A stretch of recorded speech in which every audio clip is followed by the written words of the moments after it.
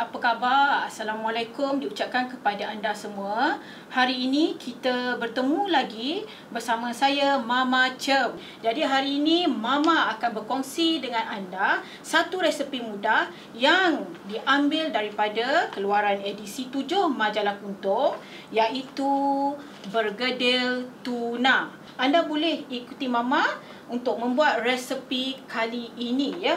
Uh, resipi ini di muka surat 11 dalam majalah Kuntum edisi 7 di dalam ruangan Chef Kuali Junior yang dibawakan khas oleh majalah Kuntum dan juga kuali.com.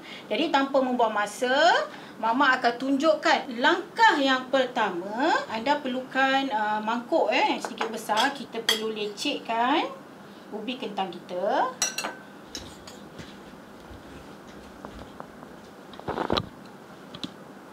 Sila pastikan ya uh, ubi ini direbus dengan elok lagi sehingga dia empuk. Ha. Okey, seterusnya apabila kita telah uh, melenyek atau melecek uh, ubi kentang ini, kita masukkan ke semua bahan yang ada di depan ni lah ya, iaitu kita mulakan dengan bawang.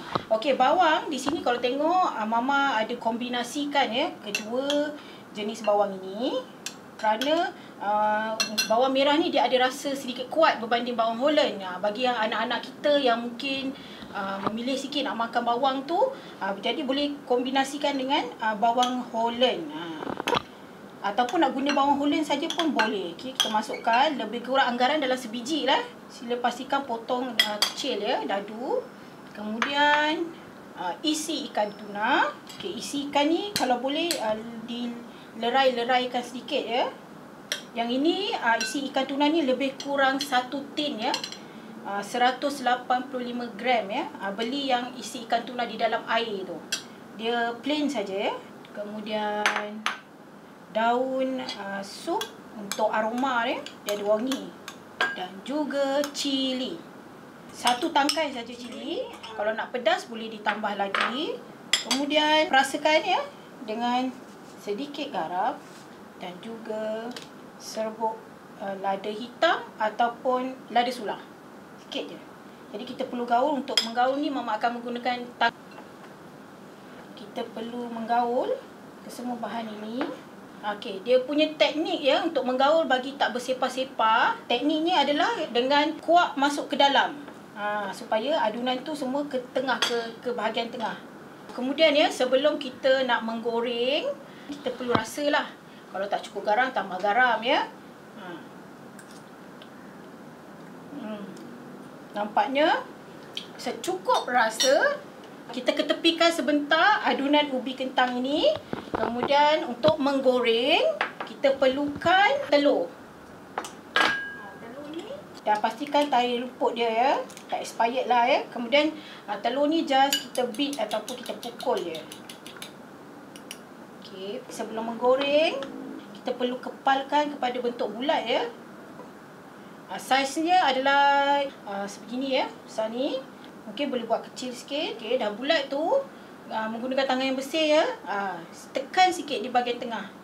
Uh, dia perlu sedikit lepeh. Pastikan dalam bentuk bulat ya. Dia akan jadi sebegini ya. Okey, kita letak tepi. Susun. Jadi kita akan buat ni sampai habislah kita punya adunan uh, bergedil ini.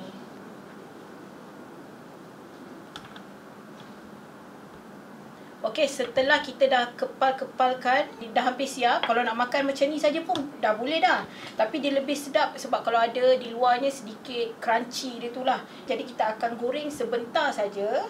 Gunakan minyak ya. Okey. Kita kena pastikan kuali kita ni betul-betul panas. Dan kaedahnya adalah dengan mengambil uh, bergedil ini, dicelupkan ke telur kedua-dua belah dan terus diletakkan di dalam uh, kuali kita. So, saya try dulu mama masak. Biarkan untuk beberapa minit. Okay, kita akan uh, terbalikkan ya bergedil kita.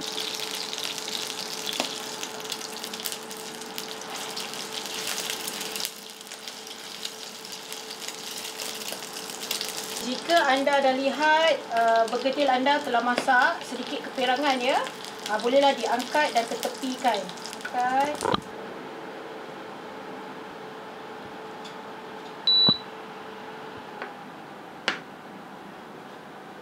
Kita akan hiaskan bergedil ini menjadi mini burger. Jadi uh, kali ini mama gunakan uh, roti burger ataupun bun burger yang boleh dibeli di uh, pasar raya. Uh, bun burger ini potong di bahagian tengah ya. Jadikan seperti ini. Kemudian kita akan letakkan hiaskan dengan salad ya, salad.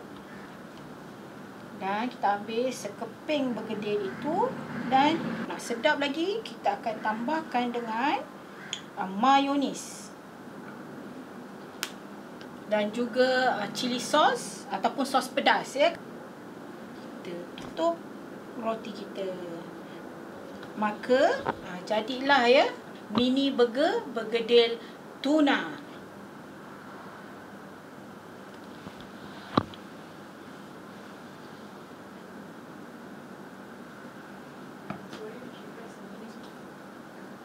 Jadi untuk anda yang ingin mendapatkan resepi lengkap uh, bergedil tuna ini, anda bolehlah dapatkan majalah Kuntung edisi 7 yang berada di pasaran. Buka muka surat 11 dalam ruangan Chef Kuali Junior.